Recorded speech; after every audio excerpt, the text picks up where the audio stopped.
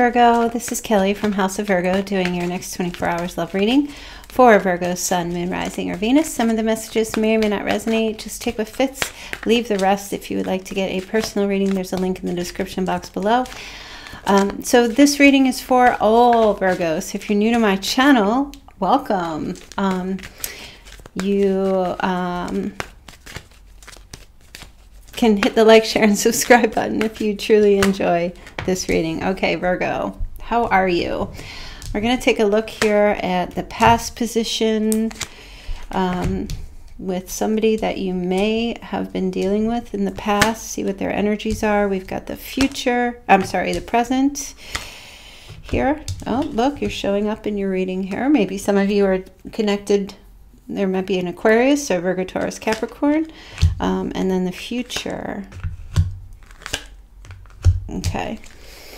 Let's take a look and see what the love messages are here in the past or what was may have been occurring in the past. Okay. Well, I definitely feel like you are a wish fulfillment for this person. Okay. Definitely. Um, this person uh, may have hesitated a lot with you in the past with the Seven of Pentacles, okay? That's an energy of like delaying and waiting, okay? I do feel like that when they looked at you or when they saw you, there was this energy of like, you know, they felt very hopeful for you. They were, they wanted to renew that hope. Um, you know, they had faith in the connection. And the Nine of Cups is like a wish come true. And those are both wish cards. Um, so that they thought that you were the one for them. Okay. There really wasn't anybody else. There's a past life. It almost feels like for your person, they felt like you've known each other forever. There was a, a very strong familiarity that um, came from that they sensed within you or that they were picking up from you. Why were they delaying? Okay, well, for some, you know, this person could just very well be someone who has to be sure before investing. Okay, Seven of Pentacles energy. You know, it's like they weren't ready to give in just yet. Um, maybe they were a little lazy, um, but there could have also been an energy like, you know, they wanted to make sure that whatever effort or investment they made in your connection, that um, there would be some kind of reward. Now, also, yeah, Seven of Cups. So two sevens again. Um, just not sure about commitment is what I feel like. Um, seven of Cups is always like commitment issues. Okay, having many options, not really being sure, which is the best. I do feel like they they definitely in the past felt like, you know, you're you're the one for them. Okay, um, and they did think or feel like, wow, Virgo, Virgo could this this Virgo could be the one for me. Okay, but they just needed that they just kind of stalled. It feels like they were stalling here. They needed, they were seeking clarity to be sure. Why is the Nine of Cups here? Okay. Justice. So this person was trying to be fair with you um, in the past. Um, definitely was they did see a win-win type of energy with you. Like it feels okay this is libran energy as well. So i feel like this person um, was definitely hoping to be fair and reasonable with you um, to have a sense of truth um, to bring truth to the connection to tell you that they felt like you were the one for them. Maybe they did tell you that or maybe they were just waiting um, to be or they waited to express that to you. Okay um, let's see why the star card is here. Yep, two of swords. So this person just kind of held back. They were like caused a stalemate. A lot of hesitation. Even though they felt like you were the one for them, they couldn't, for some reason, they weren't sure about bringing it forward. But I do feel like they um, tried to be fair and tried to be honest with you about things in the past, okay? Um, and that's just that. Let's take a look at this present energy here. Calling in your soulmate. Oh, this person's, you're going to be receiving a phone call from them. Current energy. Okay, this person, codependency. All right, this person does have codependency issues. Very codependent. Um, this person, it feels like they need you it feels like um, you come you they look at you here with this queen of pentacles as being pretty stable uh, at least financially stable or good with your work and pretty structured and solid Okay, resourceful perhaps. Um, maybe you're like kind of like a leader or you're you're good at your investments. But look, here's the Knight of Wands. So they have a very strong, passionate, um, uh, strong like fiery passion towards you. The physical attraction is very strong, and the Four of Wands. I mean, this person. I kind of feel like um, you're going to get some kind of phone call from them that um, there there's a reunion they want to see you they want to connect with you um, family friends celebrations homecoming that kind of thing um, wow it looks like they may have made up their mind um, about wanting to come into a committed relationship with you or even marriage. Let's take a look. Maybe introducing a family coming to meet your family um, taking it you know to another level. Let's take a look at this knight of wands here okay? Nine of swords. So this person it's it, so some of it does feel like their passion towards you and coming towards you has a lot to do with them relieving some anxieties that they have within some stress or some depression um, if you guys aren't like it's almost as if like that codependency addictions are affecting your romantic life so i do kind of get a sense that sometimes this person reaches out to you because they just feel such a heavy void or loss like um, anxious anxiety about not being in communication with you. Um, and so maybe it just kind of helps them relieve their anxiety when they get to talk to you and find out that maybe everything's okay or that you're still there. The Four of Wands. Okay, yeah, this person's definitely going to take some action though, as far as marriage commitment goes. The Chariot, this is Cancer energy. Um, it's all about the moon and, and the, um, the emotions Okay, this is making voluntary changes. And that chariot energy, that's like getting in the car, plane, train, whatever, um, and taking some kind of trip or journey towards you, um, to, to where you live, uh, your home. Okay, um, whether you're at a distance to one another or you're like right next door, there's going to be like this coming towards you energy. Why is the yeah, the Queen of Pentacles, you have the ace. They see you as like a huge, like a golden opportunity. Like you're the person, you're the one for them. Okay. Um, they want to invest and they see that they are aware that that's something that you want. And they, I feel like you're going to get a phone call from them telling you, you know, um, they've been praying about it and they've been thinking about it and they visualize the two of you together and they want to try to make you know this thing happen where they were stalling in the past okay they weren't sure in the past about maybe if it was between you and others or if it was just the commitment issues on the table with them or an issue about doing that like coming into full union with you let's take a look at this future energy here okay free yourself Retreat. Hmm. The only thing I have to say is that, you know, in the future,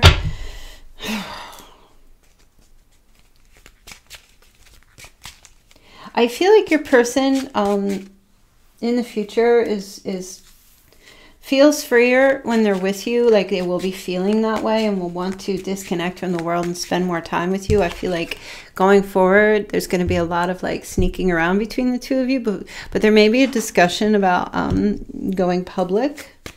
Let's take a look at this seven of swords here. Okay queen of pentacles again so you keep showing up in your reading here um, I feel like um, this. I feel like your person, and maybe you're dealing with another Earth sign, but or they're coming across that way. I feel like your person is. You're going to have discussions about. Uh, something to do like I do see them coming towards you, but I feel like going forward, there'd be like a lot of um, maybe there's this discussion about how they ran away from you, um, and they're going to try not to do that anymore or avoid things. There's also this, um, uh, it's just a sense of like, you guys are not fully out into the open with one another, which is very strange. Okay. Um, this can be like, I feel like there is this thing about maybe withholding um, information and um, them communicating with you, it feels mostly about like why things have been under wraps or why they were holding back or they weren't revealing things to you, even though they felt the way they felt. Um, they'll tell you that, you know, they've been very smitten with you. Um, for the longest time and the communication with you about that. They'll talk to you about their ideas, plans, things like that going forward. Okay. Mm, the tower. so they definitely have a very physical thing for you. Okay. It's like pretty orgasmic. And there's going to be conversation, like communication or text messages or something like that in the future. Um, and about how, like, you, for some of you, they'll tell you that you broke them down, like their ego, is what I feel. That tower energy is um, very strong for that. It, that tower energy is like it's a boom. It's kind of like unforeseen. These things that this person tells you comes out of the blue, and it's a bit shocking um, going forward in the future. You know, like it's it really does change everything. You know, like when they'll tell you that when they're around you, um, they can't be in their ego state. It's weird. It's very weird. Okay, and now we have the Page of Cups, and oh my gosh, there's so much love here, Virgo, from this person in the future. It's like I feel, you know, they want to come to you, and they don't want to let you go. It's there is codependency here, and that that is like a, a sense of like being a bit kind of addicted to you in a lot of ways, maybe addicted to the physical passion. Um, but I do feel like there's love here. I do feel like they have a heart for you and uh, I do feel like they want to disconnect. You know, both of you free yourselves from things, take control back, and spend time together. Um, retreat, um, get closer, get to know one another, whether again or if this is somebody new, and just really connecting. That Page of Cups is like that's new love here. Okay, um, so that's expressions of love. You've got three pages. And luckily, you don't have the Page of Swords, so that's very positive. Okay, um, this person does have a little bit of immaturity on their side um, in the way they communicate with you, and it's just their way. Uh, some of you I hear like, I sometimes I feel like I'm talking to a child. Let's take a look and see what their love messages here. Healing old wounds and childhood issues need revisiting. Intuition, you already know the answer they seek. So this person is definitely here. They may have like caused um, a pause in the relationship in the past, but it was mostly because they were trying to make a decision of figuring out how to compromise um, how to give you what they want and get their needs met as well. And I feel like they come forward and there's like a conversation that they want to come see you or they want to connect with you or spend some time with you. There may be conversation about codependency. Um, that them, but that maybe they won't use those words, but say something along the lines, you know, like I've been out there, there's nobody else for me, you're the one, um, I can't let you go, you know, that kind of thing. There's like a very strong bond Okay, regret. They feel remorse for the way that they treated you, Virgo. In the past, they remember every detail of the last time that you spent together. Okay, they probably, yeah, I left you before you could leave me. So that's an energy of like, wait, stop. Even if they didn't leave, but they stopped communicating with you or not saying anything to you um, for a very long time, they did that on purpose because um, of their remorse and regret and not knowing whether or not you would take them back fully, or maybe something that happened the last time that was pivotal or significant between the two of you. Like maybe it was a breakup, and this person they can't stop thinking about that, and they have a lot of regrets for that. New love or recommitment to love is developing here. So that's what I was saying about the Page of Cups. There is new love. There's like um, a spark.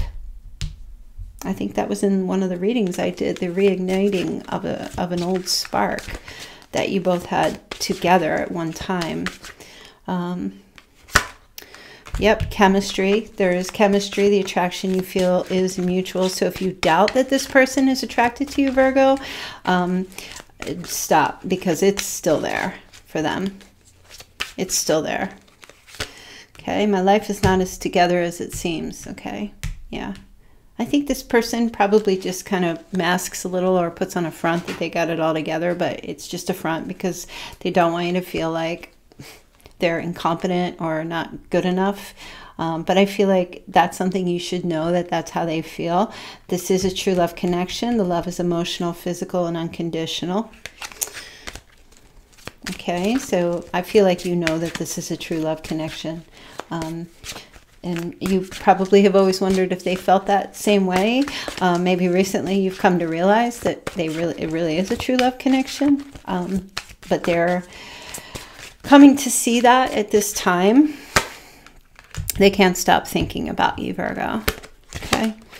But you need patience. Everything will unfold in divine timing. So it feels like you just need to be um, confident and positive. You will hear from this person. They will be calling you soon. Um, I'm going to pull some um, advice cards here for you. If I can pick them up.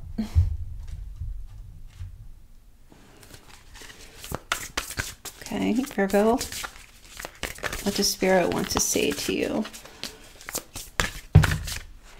Oh, well, you have the Nine of Earth.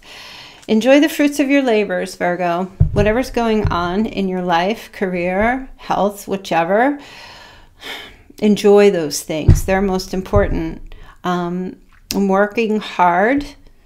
You know, it says hard work that has led to a luxurious life. So maybe some of you feel like you're in a a, a position where you can enjoy um, luxury. Maybe some of you don't care about that. Um, there, the advice here also buy yourself something special right now, Virgo, something that makes you feel good, uh, something that gives you a sense of. Um, you know, that just gives you good feelings. Okay. I don't care if it's like a hamburger, a new lipstick, or a gym membership, whatever it is, do something uh, special for yourself that makes you feel happy okay? Enjoy and be happy with your um, for those of you who are in self self-employed that you are able to continue work. This is all about gratitude um, and th this time that you are in solitude um, take that time to enjoy being with self because i feel like right at this moment um, maybe you miss somebody or you are, are hoping for um, um, and by the way, I was just seeing somebody walking. Hello, Deborah. How are you? I hope you're enjoying this video. Um, take some time to enjoy the time that you have to yourself where you are, you know, doing special things for yourself. Okay. You're each going through these separate journeys, these different processes, and perhaps you both were not on the same page for a long time. It's okay. It's okay. I feel like things are going to come back together between you and your person. Um, I feel like there was a lot of hesitation or they needed to go out and discover things on their own or figure things out for themselves, allow them to do that. Just stay in a positive place for yourself, Virgo. All right, I hope you enjoyed this and I will see you guys tomorrow. Take care. Bye.